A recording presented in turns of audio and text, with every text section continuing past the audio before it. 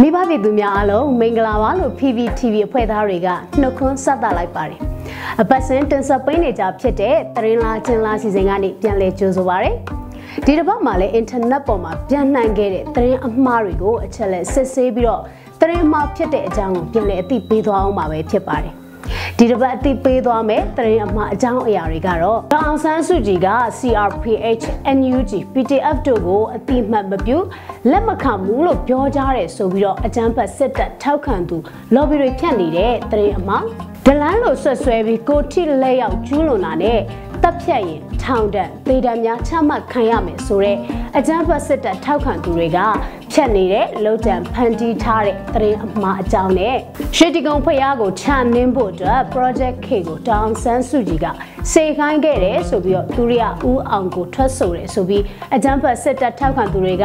ဖြတ်နေတဲ့သတင်းအမှားအကြောင်းအရာလိုပဲဖြစ်ပါတယ်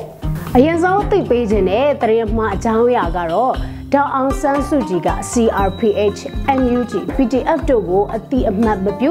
လက်မခံဘူးလို့ပြောကြတယ်ဆိုပြီးတော့အကြံဖတ်စစ်တပ်ထောက်ခံသူ lobby တွေဖြတ်နေတဲ့တရင်အမှားပဲဖြစ်ပါတယ်။အဲ့ဒီတရင်အမှားကိုအကြံဖတ်စစ်တပ်ထောက်ခံတဲ့အကောင့်တူဖြစ်တဲ့ကိုပိုက်ထွေးဆိုတဲ့နာမည်အကောင့်နဲ့ဖြန့်ချီခဲ့တာပဲဖြစ်ပါတယ်။အချက်လက်စစ်ဆေးချက်အရာဒီတရင်ဟာဘာကြောင့်တရင်အမှားဖြစ်ရတာလဲဆိုရင်တော့ နိုင်ငံတော်အတိုင်ပင်ခံပုဂ္ဂိုလ်တောင်အောင်ဆန်းစုကြည်ကဒါမျိုးပြောခဲ့တယ်ဆိုတဲ့အထောက်အထားကိုပြည်တွင်းပြည်ပအခြေစိုက်ယုံကြည်စိတ်ချရတဲ့သတင်းမီဒီယာတွေကဖော်ပြထားတာမျိုးမတွေ့ရပါဘူး။တိုင်ပင်ခံပုဂ္ဂိုလ်တောင်အောင်ဆန်းစုကြည်ကို2021ခုနှစ်ဖေဖော်ဝါရီလ1ရက်နေ့မနေ့အစောပိုင်းမှာအကြမ်းဖက်စစ်တပ်ရဲ့မတရားဖမ်းဆီးထိန်းသိမ်းခံခဲ့တာပဲဖြစ်ပါတယ်။ ဖမ်းဆီးခံရပြီးတဲ့ကယနေ့အချိန်ထိတောင်အောင်ဆန်းစုကြည်ကို အမှုလိုက်ရှေ့နေမှာလွဲပြီးတော့တခြားဘသူနဲ့မှတွေးဆုံဖို့မပြုခဲ့ပါဘူး။တရင်အမမှာဖော်ပြထားသလိုမျိုးတောင်အောင်ဆန်းစုကြည်ကသာတကယ်ထုတ်ဖော်ပြောဆိုခဲ့တာမျိုးဆိုလို့ရှိရင်အကြမ်းဖက်စစ်အုပ်စုဟာဝမ်းသာအားရသူတို့ထိန်းချုပ်ထားတဲ့ဝါရဖြတ်မီဒီယာတွေကနေဥဥဖြားဖြားထုတ်ပြန်ပြီးတော့ဝါရဖြတ်မှာပဲဖြစ်ပါတယ် ဖြန့်ခဲ့တဲ့သတင်းမှားထဲမှာဆိုရင်တိကျခိုင်မာတဲ့သတင်းအရင်းမြစ်တွေလည်းမပါဝင်ပဲအရက်ထဲမှာပြောတဲ့စကားမျိုးတွေနဲ့လောက်တံဖန်တီးထားမှန်းသိသာစေပါတယ်။ဒါကြောင့်ဒေါအောင်ဆန်းစုကြည်က CRPH NUG BTF တို့ကိုအတိအမှန်မပြုလက်မခံဘူးလို့ပြောကြတယ်ဆိုတာဟာ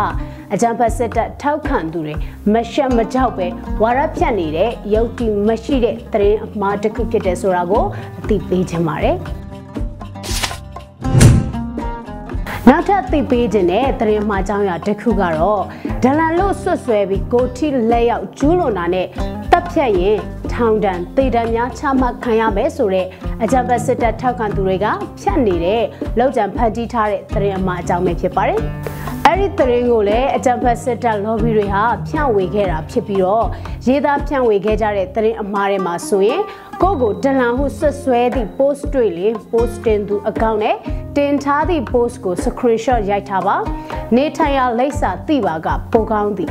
ဒလန်လို့ဆွဆွဲရင်ထောင်ဒဏ်2နှစ်ကိုထိလက်ရောက်ကျူးလွန်ပါကထောင်ဒဏ်နှစ်20ဒလန်ဆိုပြီးပြည်သူတဦးတယောက်ကိုတပ်ဖြတ်ပါကပါဝင်ပတ်သက်သူအလုံးကိုစစ်ခုံရုံးဖွဲ့၍ဒေတန်းစီရင်ချက်ချမှတ်မည်ဖြစ်သည် MWD News လို့သတင်းအမှားကိုရေးသားထားပါတယ်။ဒီအကြောင်းအရာကိုအချက်လက်စစ်ဆေးကြည့်လိုက်တဲ့အခါမှာတော့ဆီယနာရှင်တော်လှန်ရေးလုပ်နေတဲ့ပြည်သူတွေကိုကြောက်ရွံ့စေဖို့အတွက်ရည်ရွယ်ပြီးတော့ယုတ်တိမရှိတဲ့အကြောင်းအရာတွေကိုရေးသားဖြန့်ဖြူးထားတဲ့သတင်းအမှားဖြစ်တယ်ဆိုတာကိုတွေ့ရှိရပါတယ်။ဘာလို့တရင်အမားလို့ပြောနိုင်တာလဲဆိုရင်စစ်ကောင်စီဟာဆီယနာသိမ့်ဖို့စ조사ခဲ့တဲ့2021ခုနှစ်ဖေဖော်ဝါရီလ၁ရက်နေ့ကစပြီးတော့ဆီအာနာရှင်စန့်ကျင်လှုပ်ရှားသူတွေ ငင်းကြောင်းစွာဆန္ဒပြတဲ့သူတွေကိုအကြမ်းဖက်ပြီးဖမ်းဆီးတပ်ဖြတ်ထောင်ချနေတာအခုထိပဲဖြစ်ပါတယ်အပြစ်မရှိတဲ့လေးနှစ်သားကလေးကစပြီးတော့အသက်အရွယ်မရွေးအကြမ်းဖက်စစ်တပ်ကိုစန့်ကျင်ရင် ဖမ်းဆီးထောင်ချတပ်ဖြတ်နေတာလည်းဖြစ်ပါတယ်။ဒါကြောင့်အကြမ်းဖက်စစ်တပ်အပိထောက်ခံတဲ့သူတွေဖြတ်နေကြတယ်။ဒလာလို့ဆွဆွဲပြီးကိုတီလက်ရောက်ကျူးလွန်တာနဲ့တပ်ဖြတ်ရင်ထောင်တက်ဒေတာများချမှတ်ခံရမယ်ဆိုတဲ့အကြောင်းအရာကဆီယနာရှင်စက်တင်တဲ့ပြည်သူလူထုကိုချင်းချောက်ဆွေဖို့ရည်ရွယ်ပြီးဖြန့်နေတဲ့တရင်အတုတရင်အမှားဖြစ်တယ်ဆိုတာကိုအသိပေးခြင်းပါတယ်။ နောက်ဆုံးအနေနဲ့ပြောပြခြင်းတဲ့တရားမှာအကြောင်းအရာကတော့ရွှေတိကုံဖျားကိုချနင်းဖို့အတွက် project ခေကိုတာအောင်ဆန်းစုကြည်ကစေခိုင်းခဲ့တယ်ဆိုပြီးတော့သူရအောင်ကိုထွက်ဆိုတယ်ဆိုပြီးအကြံဖက်စစ်တပ်ထောက်ခံသူတွေကဖြတ်နေတဲ့တရားမှာအကြောင်းအရာပဲဖြစ်ပါတယ်။အဲ့ဒီသတင်းကိုလည်းအကြံဖက်စစ်တပ်ထောက်ခံသူတွေကဖြတ်နေကြတာဖြစ်ပြီးတော့ဖြန့်ဝေခဲ့တဲ့တရားမှာအကြောင်းအရာကတော့တာဝန်ဖြောက်ချက်ရွှေတိကုံဖျားချနင်းဖို့တော်စုစေခိုင်းခဲ့ တာဝန်ထွက်ဆိုပြီး2020ခုနှစ်ကမတော်တဆဖြစ်ပွားခဲ့တဲ့ Project K အကအဖွဲ့ရဲ့ကိုရီးယားနိုင်ငံမှာတင်ဆက်ဖျော်ဖြေမှုဟာရှီတကုံဖျားပုံရိပ်ပါဝင်ခဲ့တာကဒေါအောင်ဆန်းစုကြည်ကရရရာခြေဖို့အတွက်စေခိုင်းခဲ့တာလို့သူရအောင်ကိုကထွက်ဆိုခဲ့ပြီးစုငွေအဖြစ်သိန်းတထောင်ပေးခဲ့တယ်ဆိုပြီးလောက်ကျန်ဇလန်းတွေနဲ့အတူရေးသားဖြန့်ဖြူးခဲ့တာပဲဖြစ်ပါတယ်။ဒီ အကြောင်းအရာကိုကျင်းသတင်းလို့ပြောနိုင်တာကတော့ဒီသတင်းကိုဖြန့်ခဲ့တဲ့မူရင်းအကောင့်ကိုမတွေ့ရဘဲနဲ့ creator ဆိုပြီးထပ်ဆင့်ဖြန့်ဖြူးခဲ့ကြတာကိုတွေ့ရပါတယ်။မြည်သူမြည်ဝါဖော်ပြနိုင်ခြင်းမရှိပဲဖြန့်ခဲ့တဲ့အကြောင်းအရာဟာယုံကြည်ရတဲ့သတင်းအရင်မဟုတ်ပါဘူး။သတင်းအမှားမှာဖော်ပြခဲ့တယ်လို့တောင်အောင်ဆန်းစုကြည်ကအရရခြေဖို့အတွက် Project K အဖွဲ့ကိုကိုရီးယားမှာရွှေတကုံဖျားပုံကိုနင်းခိုင်းပြီးစုငွေအဖြစ်သိန်းတစ်ထောင်ပေးခဲ့တယ်ဆိုပြီး သူရအောင်ကိုကထွက်ဆိုခဲ့တယ်ဆိုတာကိုယုံကြည်စိတ်ချရပြီးသတင်းမီဒီယာလုပ်ငန်းစဉ်အတိုင်းရေးသားထုတ်ဝေနေတဲ့သတင်းမီဒီယာတွေမှာဖော်ပြထားတာမျိုးမရှိပါဘူးဒီဖြစ်စဉ်ကတော့2020ခုနှစ်အောက်တိုဘာလအတွင်းမှာဖြစ်ပွားခဲ့တာဖြစ်ပြီးတော့အဲ့ဒီတော့ကသာသနာရေးနဲ့ယဉ်ကျေးမှုဝန်ကြီးဌာနကစာထုတ်ပြီးဖြည့်ရှင်းခဲ့ရပူပါတယ် ဒီအချက်တွေနဲ့တိုက်ဆိုင်စစ်ဆေးမယ်ဆိုရင်တရင်အမှားမှာဖော်ပြထားတဲ့အကြောင်းအရာတွေကခိုင်လုံတဲ့အထောက်အထားမရှိဘဲနဲ့ဘာသာရေးကိုအကြောင်းပြုပြီးတော့တောင်ဆန်းစုကြည်ကိုတိုက်ခိုက်ထားတဲ့လောက်ကျန်ရေးသားတရင်အတူဖြစ်တဲ့အကြောင်းသိတာထင်ရှားပါတယ်။ ဒါကြောင့်လူမှုမီဒီယာတွေပေါ်မှာပြန့်နှံ့ခဲ့တဲ့ရွှေတကုံဖျားကိုချနင်းဖို့အတွက် project K ကိုတောင်ဆန်းစုကြည်ကစေခိုင်းခဲ့တယ်လို့သူရအောင်ကိုထွက်ဆိုတယ်ဆိုပြီးဖြန့်နေတဲ့သတင်းကလောက်ကျန်ရေးသားဖန်တီးထားတဲ့သတင်းအမှားဖြစ်တဲ့အကြောင်းကိုအသိပေးကြပါမယ်။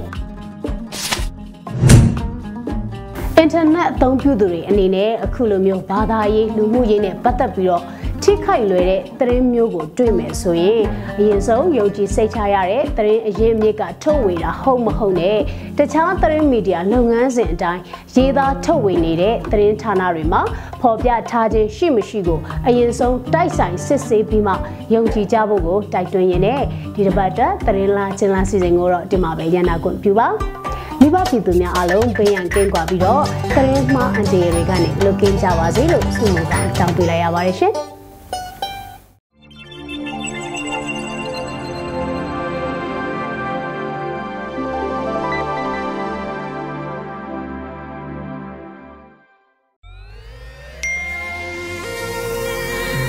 PPTV ကမျိုးတော်လိုင်းရေးဆိုင်ရာအစီအစဉ်ကောင်းတွေကိုရည်စည်တင်ဆက်ပေးနေရှိပါတယ်။ PPTV ကထုတ်လွှင့်တင်ဆက်ပေးနေတဲ့အစီအစဉ်တွေကို PPTV ရဲ့တရားဝင် YouTube Channel ဖြစ်တဲ့ youtube.com/c/pptv မြန်မာကို Subscribe လုပ်ကြည့်ရှုပေးကြရဖြင့်တော်လိုင်းကိုတစ်သက်တအားဖတ်မှုသိရှိပေးနိုင်ပြီဖြစ်ကြောင်းသတင်းအောင်ပါလိုက်ပါတယ်ရှင်။စိတ်ရကလစ်တွေနဲ့တော်လိုင်းရေးကိုနိုင်တဲ့ဘက်ကထိတ်ဆက်အားဖြစ်လိုက်ကြအောင်ပါ။အရေးတော်ပုံအောင်ရမည်။